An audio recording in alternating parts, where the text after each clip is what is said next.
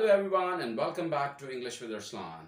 Today I'm going to give you some vocabulary which you can use in your daily routine and you can utilize these vocabulary uh, with your friends and you can give to your friends as well. These are the new vocabularies. I must say you might have listened in your daily routine but this will definitely help you while speaking, while writing as well. So today number one vocabulary which I'm going to give you, this is plead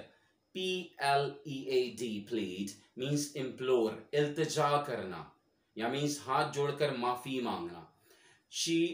pleads before me